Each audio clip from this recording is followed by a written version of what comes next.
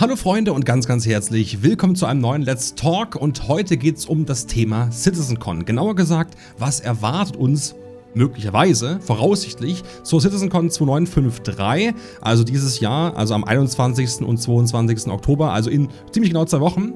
Was kommt auf uns zu? Darüber möchte ich heute mit euch mal sprechen und versuchen, ein Bild zu zeichnen mit Hilfe der Roadmap und mit Hilfe von Dingen, die wir schon wissen und mit Dingen, Dingen, die CRG so ja in diversen Posts geschrieben hat und naja, an diversen Stellen erwähnt hat, mal zu gucken, was da wohl kommt. Also lasst gerne ein Abo für mich da, wenn ihr euch für Star Citizen Themen interessiert und kommt gerne heute in den Stream. Nur kurzer Hinweis, äh, wir ziehen heute unser, äh, unser Spirit Giveaway, Spirit nach Wahl mit LTI und Game Package und Cutter und so weiter.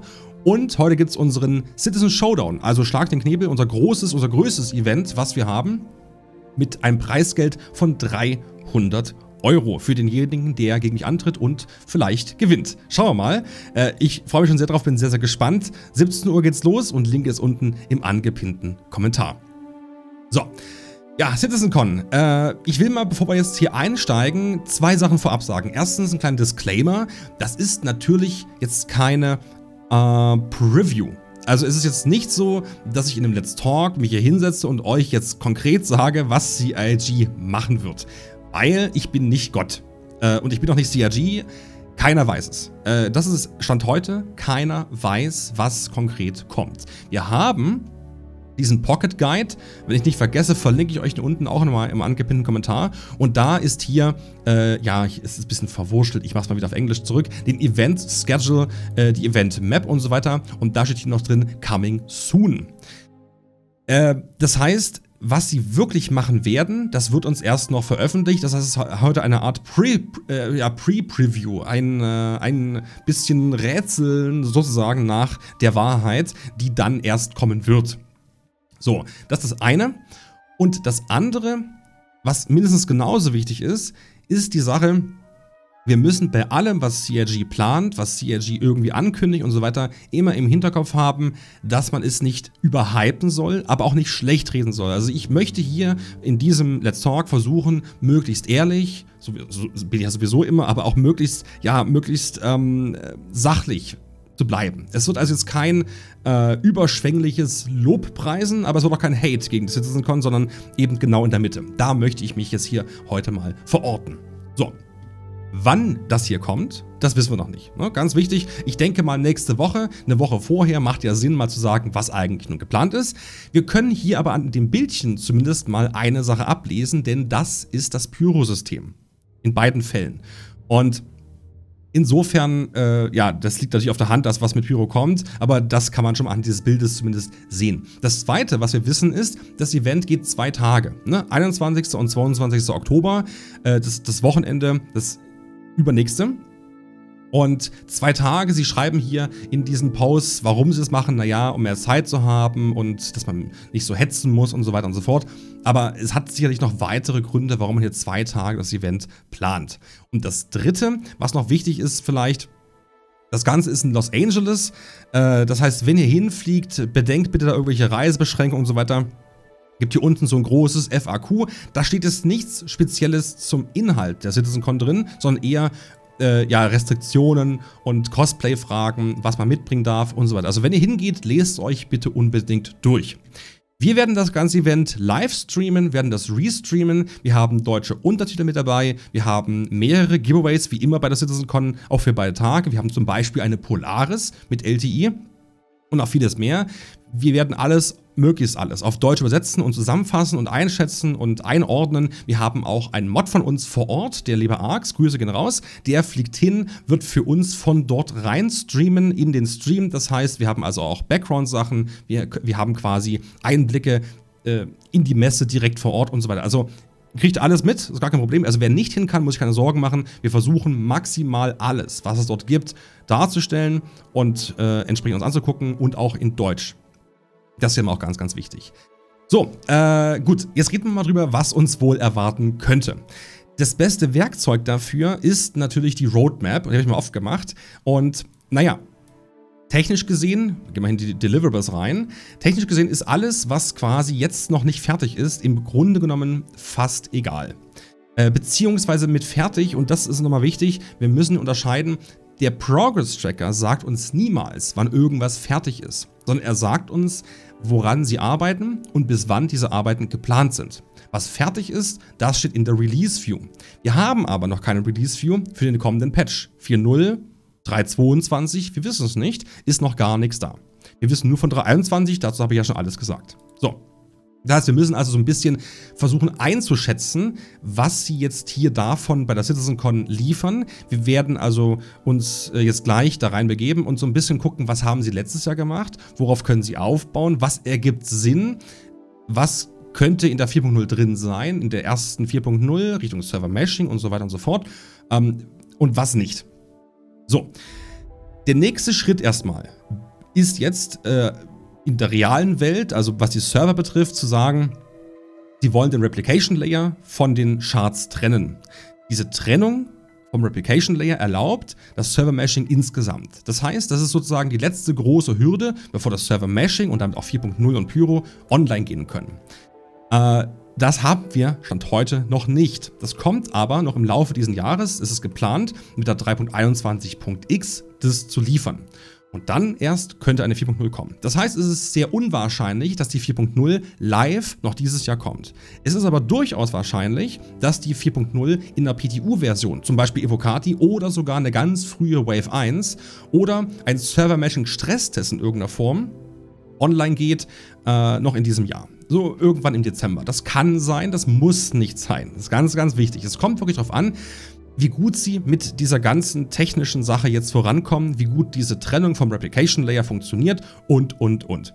Das Schöne am Replication Layer und an der Trennung ist, dass damit, wenn es dann funktioniert, die 30Ks, das Rausfahren aus dem Server quasi erledigt sind. Wir bleiben im Spiel drin, wenn der Server abschmiert, die Replikation, die ja, die hält uns quasi in der Spielwelt und wartet dann darauf, dass ein neuer Server an den Start geht und dann geht es einfach weiter. Ne? Das ist also direkt ein messbarer Vorteil für uns alle, wenn es dann damit äh, irgendwann mal soweit ist. Wie gesagt, ich denke mal, das kommt nach der CitizenCon erst. Mit diesen Informationen kann man auf jeden Fall einiges anfangen und wir können daraus ableiten, wie CRG jetzt weiter vorangeht. So, gucken wir mal, was also eine Rolle spielen könnte. Wir gehen jetzt mal von oben nach unten durch und ich versuche so ein bisschen das einzuschätzen.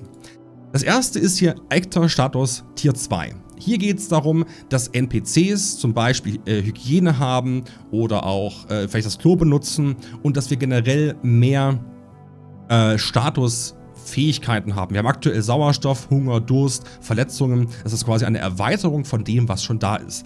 Gebraucht wird beides für Squadron, äh, äh gebraucht wird es für beide Spiele, also für Star Citizen und für Squadron 42. Und wir wissen, dass Sachen, die für Squadron 42 relevant sind, Priorität haben. Das Actor äh, Feature Team arbeitet daran seit 30 Wochen. Wir wissen jetzt nicht genau, wie lange noch weiter daran gearbeitet wird, aber das ist schon mal ganz gut und es kann sein, dass dieses Actor Status Tier 2 eine Rolle spielt bei einer Gameplay-Demo auf der CitizenCon. Ich komme gleich nochmal auf diese Gameplay-Demo zu sprechen. Warum Squadron 42 so wichtig ist, will ich hier auch nochmal direkt vorwegnehmen. Squadron 42 ist jetzt seit Monaten aus dem Shop raus. Man kann es nicht kaufen, wir wissen nicht warum. Es gibt zwar einige Theorien, äh, aber es weiß wirklich keiner. Meine Theorie ist, dass sie mit Squadron 42 sehr, sehr weit sind. Chris Roberts hat in diesem Brief, er, also in dem Brief nicht, in diesem Kommentar, den er geschrieben hat, äh, kl ja, klar gemacht, dass sie aus seiner Sicht jedenfalls bei Squadron 42 an einem Wendepunkt sind. An einem Wendepunkt, wo jetzt mehr Ressourcen wieder zurück in Star Citizen fließen können, wo mehr Arbeiten, die für Squadron 42 fertig sind, in Star Citizen kommen können. Und insofern ist es also hier durchaus denkbar. Das Spannende an der Sache ist, wenn das stimmt, dann bedeutet das auch, dass sie bei Squadron 42 ja nicht feature-complete sind, aber sehr, sehr weit sind, was die Features betrifft. Ne? Weil sie entwickeln ja ein Feature für Squadron 42 und wenn das fertig ist und funktioniert und dem generellen Gedanken, wie es sein soll, entspricht, dann kommt es in Star Citizen rein. Das heißt, die Fertigstellung von Squadron 42 ist ein essentieller Bestandteil der CitizenCon in diesem Jahr. Davon bin ich zumindest sehr fest überzeugt und meine Theorie ist daher folgende. Ich glaube, dass wir äh, ähm, ja, einen Vorverkauf erleben werden von Squadron 42. Das heißt, sie werden also uns einen großen Vertical Slice, eine Gameplay-Demo zeigen, äh, so ähnlich wie schon damals 2016, und werden dann einen Pre-Sale starten, einen offiziellen Pre-Sale mit einem Liefertermin Ende 2024, Ende 2025, man weiß es natürlich nicht. Aber äh, wo sie dann sagen, wir verkaufen euch die normale Version jetzt wieder, zum Beispiel für 60 Euro oder 70 Euro, keine Ahnung. Wir verkaufen euch eine Premium Edition und eine Collectors Edition oder sowas. Ne, das ist ja gang und gäbe in der Gaming-Branche und das werden sie wahrscheinlich auch so machen. Es kann eben sein, dass die Besitzer von Squadron 42, die es schon gekauft haben, die haben dann automatisch eben die Standard-Edition und können upgraden auf die Collectors oder auf die Premium Edition, was auch immer. Das kennen wir auch schon, das haben sie schon mal gemacht, nämlich damals bei der Carrack. Wenn ihr euch erinnert, da gab es diese Upgrades auf die äh, Expedition Carrack und so ähnlich können sie es hier auch lösen. Werden wir mal schauen. Ein weiterer Hinweis, dass das tatsächlich bevorsteht, ist der 10.10.2023, also nächsten Dienstag. Denn da kommt wohl die F8 Lightning Flight Ready ins Spiel wird gemunkelt. Man weiß es nicht. Wir haben eine E-Mail bekommen, wo die F8 Lightning als 3D-Bild abgezeichnet war und mit Verweis eben auf den 10.10. .10. Werden wir übrigens auch streamen, kommt dann auf jeden Fall mit rein. Ich gucke mir das dann an, mal schauen, was sie da machen. Ich bin ganz aufgeregt äh, und freue mich drauf. Ich kann es euch aber noch nicht sagen, aber es ist auf jeden Fall ein guter Hinweis darauf. Und viel mehr möchte ich zu Squadron 42 heute in dem Video auch gar nicht sagen, weil das ist dann doch zu spekulativ. Äh, für, für, selbst für meinen Geschmack. Äh, wir werden das sehen. Äh, aber Sie hatten mal gesagt, sie wollen 2025 mit, mit Squadron 42 sehr fertig sein oder sogar das schon draußen haben. Das würde ja passen. Ne? Vom Zeitplan her, wenn sie Ende 2025 Squadron 42 tatsächlich releasen könnten, mal, mal schauen, dann wäre es durchaus sinnvoll, den Vorverkauf jetzt zu starten und auch Squadron 42 wieder in den Shop reinzubringen. Zumindest wäre das denkbar. Gut, Jetzt kommen wir wieder zu, äh, zurück zu Star Citizen. Ähm, wenn alles andere zu Squadron 42 werden wir dann sehen. Ich, wie gesagt, Gameplay-Demo, Vertical Slice, schauen wir dann bei der Citizen kommen. So, äh, weitere äh, Settlements, also Siedlungen, die sie bauen, das ist was für Pyro und für, das, für, für dieses Raster-Tool. Äh, da werden wir mal schauen, ob da irgendwas eine Rolle spielt. Das ist hier geplant bis Ende Dezember. Da arbeiten zwei Teams dran, EU Sandbox Team und das MTL Sandbox Team, also Montreal Sandbox Team. Ähm, das ist so ein laufender Prozess, 50 Wochen, schon über ein Jahr, wo sie einfach mehr Locations bauen. Das ist jetzt, glaube ich, nichts allzu Relevantes. So, äh, gehen wir ein bisschen weiter und gucken uns hier mal an. Warte, ich suche hier was ganz Bestimmtes raus. Genau, hier. Bounty Hunter V2. Das ist seit 100 Wochen in Arbeit und wir wissen, dass sie schon Experimente gemacht haben damit im PTU und auch auf dem Live. Sie haben die KI stark geupdatet. Die KI ist zu einigen Sachen mehr in der Lage und mir wurde sogar gesagt, ich habe es selber leider nicht erlebt, aber mir wurde schon mitgeteilt, äh, dass eine reguläre Bounty-Mission anders abgelaufen ist als sonst. Auf dem PTU von Alpha 3.20 war das schon. Nämlich der NPC hat die Waffe weggeworfen und hat sich ergeben, es gab dann keine Option, mit dem zu interagieren. Aber es kann sein, dass sie da was getestet haben und das Bounty Hunter V2 als Feature in einer Gameplay-Demo darstellen könnten von Pyro. Oder auch von Stanton. Das werden wir dann sehen. Es können auch mehrere Gameplay-Demos geben. Aber eben, äh, das ist ein Content, der sollte ja eigentlich sogar schon da sein, der fehlt noch und es wäre cool, wenn er auch geliefert wird dieses Jahr. Das Problem ist, der ist nur für Star Citizen und nicht für Squadron 42, daher geringere Prio, aber es arbeiten sieben Teams daran seit bald zwei Jahren. Ja, ihr seht es, wenn ich zurückgehe. Das ist sehr, sehr weit und könnte tatsächlich dann eben Ende des Jahres geliefert werden in einer potenziellen 4.0 oder einer potenziellen Alpha 3.22, die sie als Zwischenlösung noch machen vor 4.0. Aber darauf komme ich auch gleich nochmal zu sprechen. Ein weiterer Punkt ist Building Interiors. Das ist interessant, denn da haben sie ja schon letztes Jahr bei der CitizenCon was gezeigt. Sie wollen ja gerne ähm, die Gebäude in den Städten ausbauen. Das ist seit 148 Wochen, also seit bald drei Jahren in der Mache. Und ist ein ganz, ganz großes Ding, wo mehrere Teams dran arbeiten, die Begehbarkeit der Gebäude in Städten, in Landezonen komplett ja, zu bewerkstelligen. Also voll begehbare Städte zu bauen. Da könnte es also eine Gameplay-Demo geben auf, das, äh, auf der CitizenCon, durchaus denkbar wo sie genau das hier aufgreifen und auch das Lorville Rework vom letzten Jahr aufgreifen und zeigen, guckt mal hier, wir haben jetzt äh, da folgendes gemacht, pipapo. Ne, das äh, kann ich mir sehr gut vorstellen, wird auch Sinn ergeben. Dann kommen die ganzen Kapitel von Squadron 42 und ihr seht, die sind alle hier quasi bis, ja, ziemlich genau bis zur CitizenCon geplant. Einige schon eher fertig. Also fertig, in Anführungsstrichen immer. Ja, und da gibt es eigentlich nichts, was länger geht. Was nicht heißt, dass es nicht noch verlängert wird. Ne? Aber bis dahin ist es erstmal geplant. Deswegen auch diese Gameplay-Demo und Vertical Slice-Geschichte von Squadron 42. Auch der Charakter, äh, der Charaktereditor und die Charakterarbeiten, die hier gemacht werden für Squadron 42, ihr seht es, da ist unheimlich viel in Arbeit seit sehr langer Zeit. Da fließen sehr viele Ressourcen rein, richtig viele Teams arbeiten daran. und wollen eben äh, ja eine möglichst gute Charaktererstellung haben und Charakter äh, ja, Line-up haben, auch NPCs und vieles, vieles mehr. Was eben auch nochmal auf dieses Squadron 42 Gameplay Demo äh, hinweist, ne, je nachdem, wie weit sie damit wirklich sind. So, dann kommt erstmal lange Zeit nichts. Und das nächste wäre jetzt hier Cutting Tier 2. Erinnert ihr euch noch an die CitizenCon 2019, wo wir diese Microtech-Demo hatten und man dort gecuttet hat durch so, eine, äh, durch so einen Gang irgendwie, bei so einem Labor war das, glaube ich, so eine Stealth-Mission. Genau das könnte hier eine Rolle spielen und würde wunderbar passen zum neuen Bounty Hunter System. Weil das Cutting Tier 2 würde erlauben, dass wir uns in Locations neue Gänge gestalten können, durch Lüftungsrohre klettern, Stealth-Gameplay machen. Und der Spaß ist ja, wir haben ja bereits Stealth-Gameplay im Spiel in der ganz ersten geringen Form. Wenn wir nämlich schleichen, dann sind wir leiser, wenn wir kriechen, sind wir noch leiser und die NPCs reagieren darauf tatsächlich. Haben wir schon getestet, die KI hat die Wahrnehmungsfunktion aktiv, zu Testzwecken vor allem. Ähm, das heißt, Macht durchaus Sinn, dass man das Ganze hier nun erweitert. Es würde also jetzt gegen nichts sprechen, was aktuell schon läuft. Und sie brauchen es auch für Squadron 42. Also es kann sein, dass das in irgendeiner Gameplay-Demo ebenfalls eine Rolle spielt.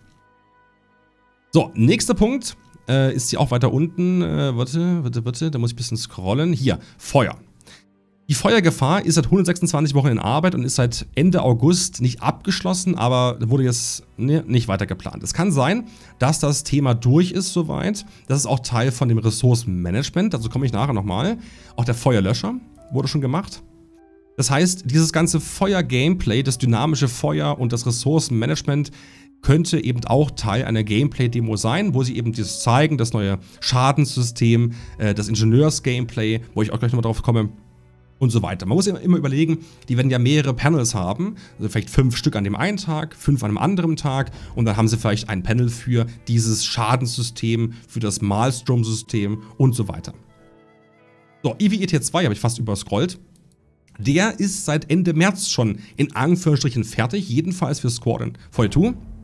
Und es kann sein, äh, dass das dann auch mal hier eine größere Rolle spielt. Letztes Jahr wurde es ja nur so kurz erwähnt, am Ende von der CitizenCon äh, von Chris Roberts in seinem großen Monolog. Das war schon ziemlich cool. Bisher haben wir aber nichts davon im Spiel. Und sie haben immerhin jetzt den bestehenden EVA nochmal gepolished.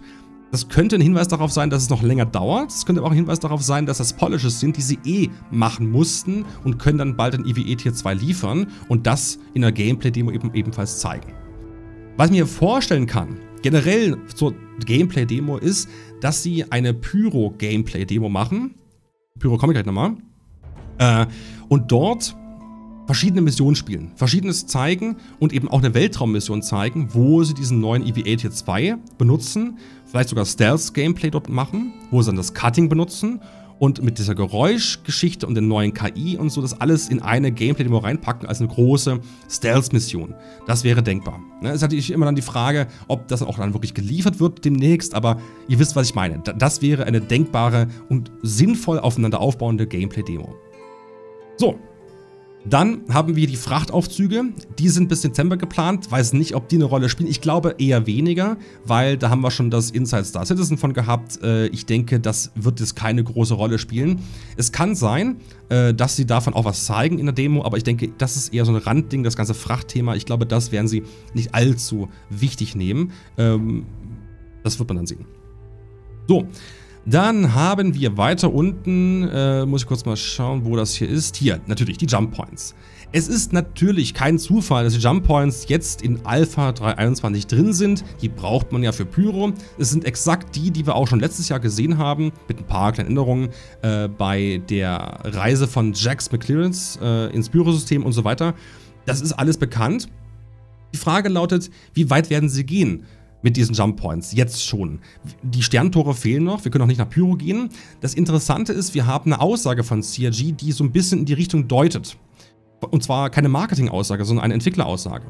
Und da ging es darum, dass sie gesagt haben, äh, dass aktuell die Jump Points noch nicht funktionieren und sich deswegen für uns als Spieler noch nichts ändert. Das klingt so, als würde sich aber bald was ändern. Das kann man so und so verstehen, aber ich denke, es ist auf jeden Fall kein Zufall und Pyro ist schon lange in der Arbeit. Pyro ist ich würde sagen, weitestgehend fertig gestellt. Und insofern gehe ich aktuell davon aus, dass sie Pyro äh, eben komplett äh, zeigen, dass sie die Jump Points richtig im Spiel benutzen, wie sie jetzt auch da sind und das alles aufgreifen, mit dem Sterntor durchfliegen und dann eben das auch, eben auch Teil von dieser Pyro-Gameplay-Demo sein wird. Lebenserhaltungssysteme sind auch schon sehr, sehr weit. Die sind Teil von diesem Ressourcen-Netzwerk und Ingenieurs-Gameplay und auch dem Feuersystem, was ich vorhin angesprochen habe. Das heißt, das ist für meine Begriffe jedenfalls Teil einer anderen Demo, nämlich nicht der Pyro-Gameplay-Demo, sondern dieser ja, Ingenieurs-Gameplay-Demo, sage ich mal. Ne? Das sind also zwei verschiedene Panels, die ich da aktuell erwarte. So, dann haben wir hier unten die Map, die Star Map und das Radar Rework. FPS Scanning ist da auch ein Teil davon. Äh, das haben sie letztes Jahr schon mal gezeigt, in der Urfassung, in der ganz kleinen ähm, ersten Version sozusagen. Das also da gehe ich sehr, sehr, sehr stark von aus. Und ich glaube auch, dass sie uns die Star Map, die neue Star Map, endlich vorstellen werden auf der CitizenCon. Ähm, entweder Teil von der Gameplay-Demo. So, übrigens hier, das ist die neue Star Map. So ganz am, am Rande. Würde gut zu CRG passen, dass sie das so ein bisschen auf Spaß äh, als unwichtig erwähnen, aber obwohl es eigentlich total wichtig ist.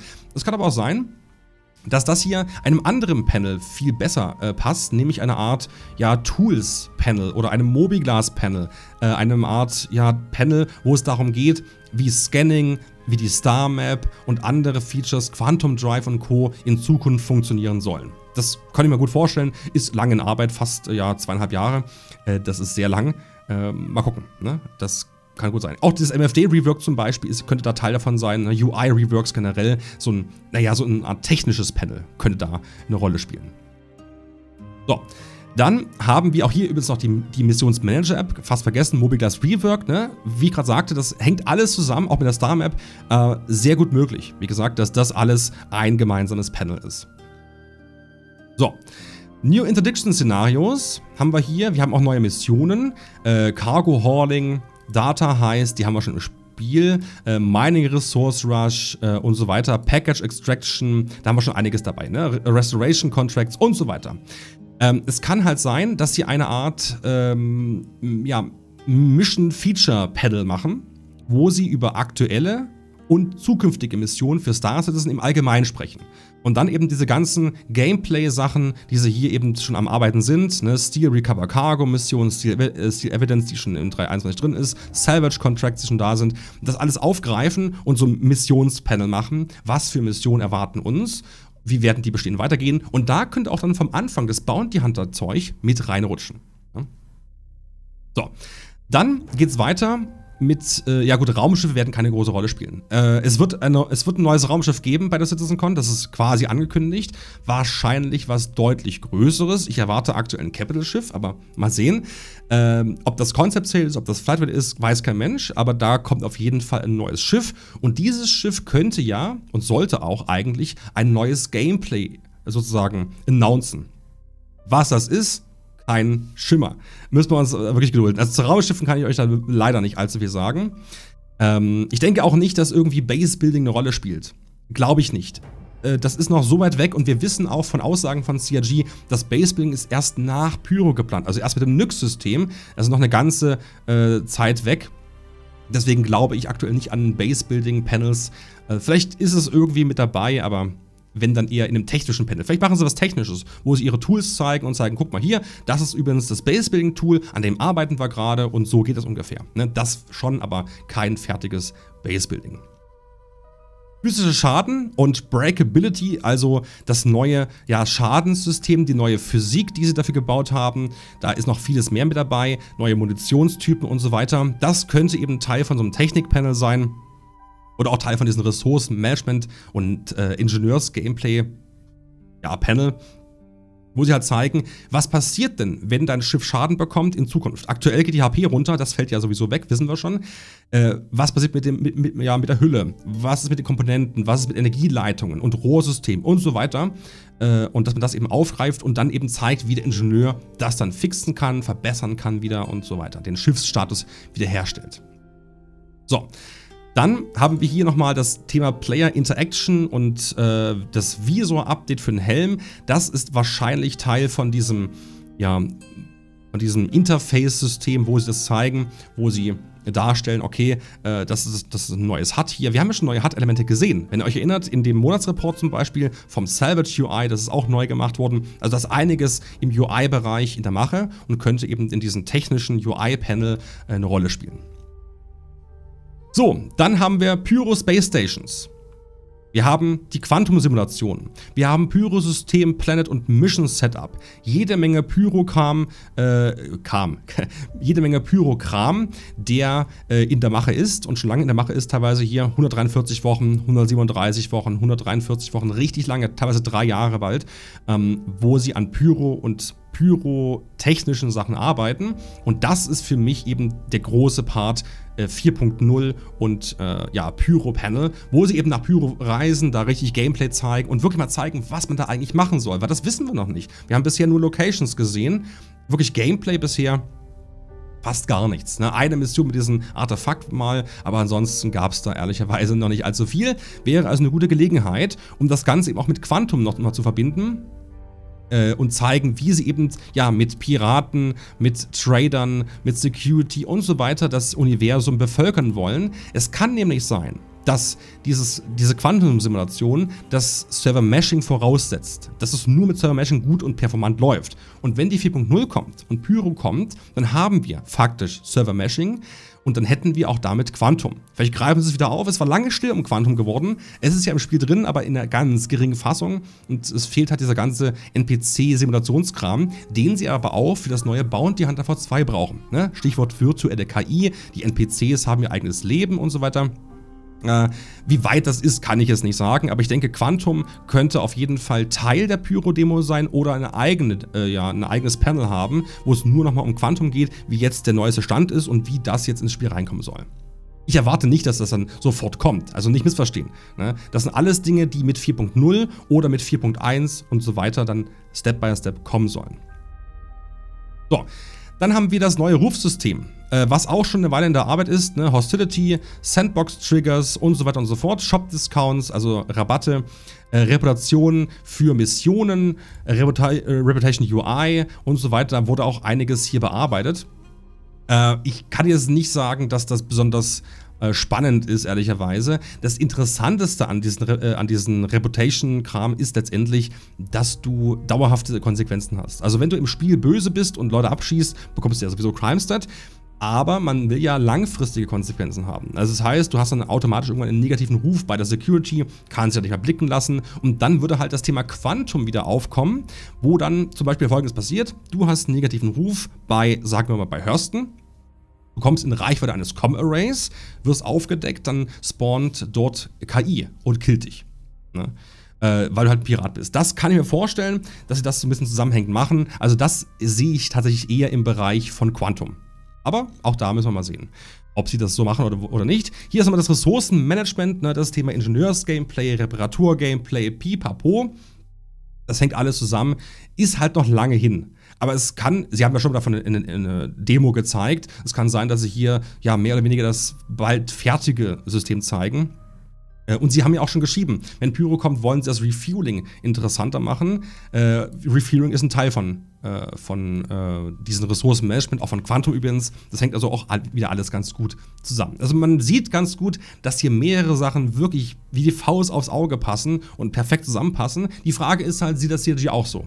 Oder sehen nur wir das so? Oder sehe nur ich das so? Das könnt ihr immer mal, in die Kommentare reinschreiben. So. Salvaging das Hull Munching, Vehicle Munching, das neue Salvage 2 quasi. Weiß ich nicht, ob sie da schon sehr weit sind. Es kann sein, dass das ein Teil von so einer, von einem Panel ist, wo sie über verschiedene Gameplay-Updates sprechen und das so eine Art große Sprint-Report machen. Das kann ich mir vorstellen.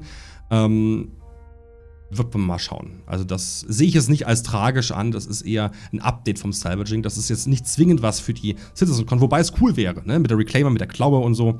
Schauen wir mal. So, das Sicherheitsnetzwerk äh, ist vom Mission Feature Team hier. Da geht es eben auch um verschiedene ähm, Zugangsbeschränkungen für NPC, äh, für NPC, für Spieler. Wo darf ich rein, wo darf ich nicht rein? Äh, ich glaube nicht, dass das ein großes Panel wird. Wenn überhaupt, äh, dann könnte es in diesem Quantum-Bereich eine Rolle spielen vielleicht. Äh, aber jetzt nichts besonders krasses. Sliding Charakter-Stats wäre wieder ein Part von diesem Charakter und ähm, ja, wie sagt man, Interface-Ding. Ansonsten ist eigentlich ja nicht allzu viel mehr hier unten. Swimming wäre auch wieder Charakter. Ne? Das sind alles Dinge, die könnten sie eben in so einer Demo zeigen. Also das ist jetzt nichts, wo man erst ein eigenes Panel für macht. Oh, guck mal, wir können das schwimmen. Sondern da sehe ich eher den Charakter in der Gameplay-Demo einfach mal schwimmen und dann sagen sie, guckt mal hier, wir können jetzt auch schwimmen. Also dass sie das quasi mit, mit einbetten in eine andere Demo, wo es um wichtigere Sachen geht. Ja. So, unannounced Vehicle, jede Menge. Wer weiß, was es dann wird. Spannender Punkt ist noch Underground Facilities. Da haben wir ja auch einen Hinweis schon bekommen, dass sie da was zeigen. Äh, diese großen, ja, unterirdischen Industrieanlagen, diese riesigen großen Megabunker quasi, äh, da bin ich mir relativ sicher, dass sie uns das zeigen und vielleicht sogar in einem der nächsten Patches den ersten davon liefern. Wir haben schon ein Bild gesehen von einem Bunker auf Microtech. Gut möglich, ne, dass da mal der erste so langsam ins Spiel reinkommt. Traktorstrahlen für Fahrzeuge, die kommen bald. Die könnten auch ein Teil ja, von der Game-Demo sein, aber glaube ich eher weniger. Also da haben wir schon eine Menge von gesehen. Ich gehe davon aus, dass das meiste, was sie in den Inside Star Citizens gezeigt haben, nur eine Nebenrolle oder gar keine Rolle bei der CitizenCon spielt. In der Regel machen sie es immer so, dass sie da was ganz anderes zeigen, was sie bisher geheim gehalten haben, um uns auch zu überraschen. Was ja auch okay ist, irgendwie. Ein bisschen jedenfalls. So, und dann sind wir auch schon unten am Ende. Äh, das heißt, die CitizenCon um zusammenzufassen, wird aus meiner Sicht aus insgesamt sechs Panels bestehen. Äh, also sechs sage ich mal als voraus und dann schauen wir mal, äh, ob ich damit halbwegs richtig liege. Ein Squadron 42 Panel, inklusive Vertical Slice, Gameplay-Demo und allem drum und dran. Also komplett nur Squadron 42. Zweitens ein Pyro-Panel, wo sie ja, eben das Pyro-System bereisen, besuchen, Gameplay von Pyro zeigen und uns da mitnehmen und da eben auch verschiedene andere Fortschritte der Entwicklung zeigen. Ein technisches Panel, wo es um Server Meshing geht, um den Replication Layer, wo sie das ganze Thema Server Meshing aufgreifen und damit auch die 4.0 so ein bisschen aufgreifen, wann das denn kommen könnte, wie der aktuelle Stand ist und uns da sozusagen ein bisschen mitnehmen, auch äh, das technisch gut äh, darstellen, gut animieren und so weiter. Ein Quantum Panel, wo sie über das Quantumsystem, virtuelle KI und deren Vorteile und diese ganzen äh, dynamischen Universumsereignisse äh, ja, so ein bisschen alles aufgreifen und uns im gesamten Panel zeigen. Fünfter Punkt wäre ein UI- und Charakterpanel, also wo sie den Charakter zeigen und diverse Dinge, die der Charakter sehen kann. Mobiglass zum Beispiel, neues Scanning-System, äh, neue Star-Map, neue Quest-App und so weiter und so fort. Und Nummer 6, ein generelles Gameplay oder ja, sagen wir mal Missions- und Gameplay-Panel, wo sie von Bounty Hunter V2 sprechen, neue Missionen allgemein im Spiel, neue äh, Questgeber auch, vielleicht auch was von Pyro in der Richtung nochmal zeigen. Und äh, ja, auch bestehendes Gameplay versuchen dazu darzustellen, wie das sich weiterentwickelt. Ne? Stichwort Salvage Link Tier 2 könnte dabei sein, aber auch andere Sachen. Das sind die sechs Dinge, die ich mir aktuell denke, die ich aus der Roadmap ableite. Äh, es kann auch viel, viel mehr sein, es kann auch viel, viel weniger sein. Das werden wir dann alles gemeinsam erleben. Ich würde mich mal freuen, wenn ihr in die Kommentare schreibt, was ihr glaubt, was davon vielleicht kommen könnte, ob ihr dieser Einschätzung folgt oder ob ihr sagt, nee, äh, sehe ich ganz anders, da kommt was ganz anderes. Ähm, oder ob ihr sagt, hm, da kommt gar nichts. Achso, vielleicht noch ein siebtes Panel, ein Schiffspanel. Sie hatten bisher jedes Jahr ein Schiffspanel, wo sie über Raumschiffe gesprochen haben, Reworks von Schiffen und und und. Ich denke, das wäre auch noch Teil der ganzen Show. Ich bin sehr gespannt drauf. Es wird auf jeden Fall interessant, da habe ich keinen Zweifel. Und sobald hier im Pocket Guide dieser Event-Schedule da ist, werden wir es deutlich genauer wissen. Und ich hoffe aber trotzdem, dass diese Pre-Preview gefallen hat, dieses bisschen Glaskugel gelesen und dass ihr was damit anfangen konntet. Schreibt es gerne in die Kommentare und dann sehen wir uns nachher gemeinsam im Stream mit dem großen Citizen Showdown. Ich freue mich drauf. Danke fürs Zuschauen oder fürs Zuhören und bis nachher. Ciao, ciao. But 65 degrees. The last time I asked, I was down on my knees. The last time I heard you speak, you shot ice into my veins. I almost wished it would rain.